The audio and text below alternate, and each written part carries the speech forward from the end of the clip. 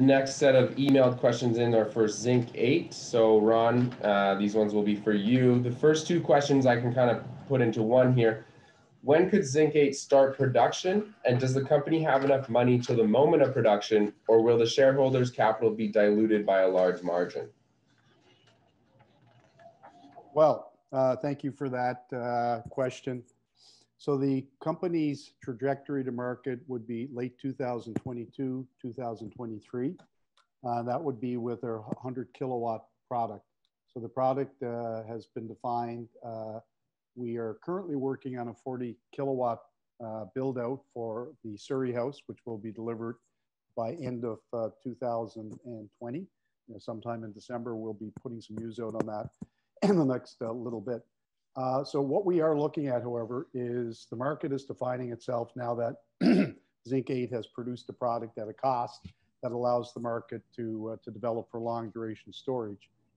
Uh, so we're currently examining internally whether or not uh, we have a revenue uh, a product that could be produced in 2021 late quarter. That would be a 2040 kilowatt, which we're already producing. We're, we, we actually have the battery that's going to Surrey House in our back lot down on Ash Street in Vancouver. So, so we're in production. I wouldn't call it commercial production. Commercial production is scheduled for 2022 fourth quarter, first quarter 2023.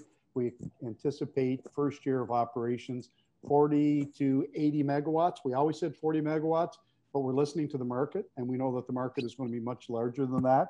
And uh, that would have us between 80 and 160 million dollars in revenue in our first year of operations. Uh, the second question is a good question.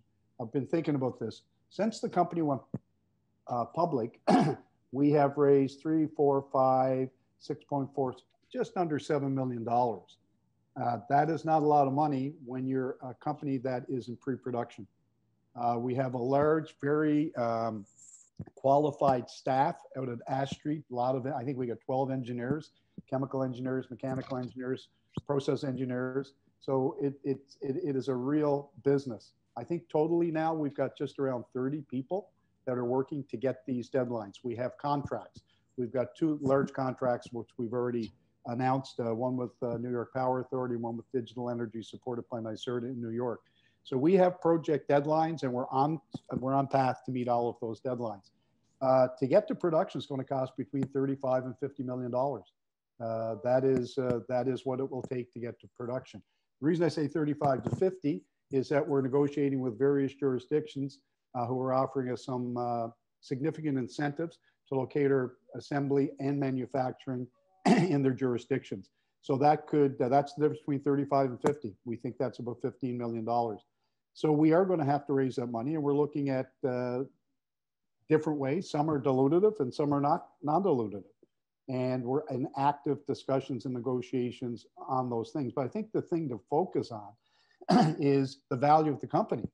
We're entering into a billion dollar market.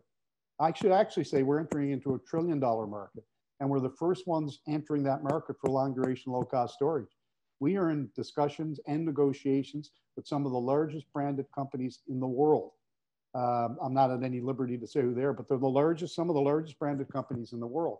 We're dealing with utilities all around the globe. We're dealing with private sector partners. So we know that uh, we know what our product is. We know the performance. It'll take us another uh, couple of years of development. Uh, we're building five batteries internally next year so we can accelerate our path to uh, producing this product for the market. Uh, so yeah, we're going to need more money and uh, we're going to look after the interests of the shareholders and we will select um, the, the best financing that we can in the interest of the shareholders. Great, thanks, Ron. There's another question that just came in from Baldy. Um, have there been any updates on the agreement and principles from India and Australia? Is there any details on them? Yeah, the agreements and principles, uh, we have established working groups with both of them, and uh, they will take a little time to flesh out. One of the reasons is, I'll be quite honest, guys, I love Zoom calls. I love in-person meetings more. and in order to really build a relationship uh, a partnership uh, with other companies, uh, I like to eyeball them. So that slows down a bit because we can't do that today. So there's an extra layer of caution that you've got to go through. We are progressing nicely with VGI. we're looking at their manufacturing capacity and They have, we, we have given them the specs for a number of significant parks, and they are currently putting some quotes together for us. VGI is really important. VGI is, has contracts with every state utility in India and with the national utility, and they're operating in 42 countries. Those that have heard me before, you know that my view is that we grow this company not by selling batteries, but by establishing pipelines of projects. So VGI certainly does that. In Australia, it is the same thing. Uh, we're going forward with pricing out um, uh, projects at the aquatic centers. There's over 100 of them in Australia. They're getting off of uh, carbon uh, emitting generation. And so our solution is a great solution there. We're also looking at the 2040 kilowatt battery market there. It is, it, it's very extreme. So both are moving forward uh, at a good pace, Uh, but we'll be cautious how we proceed with both of them.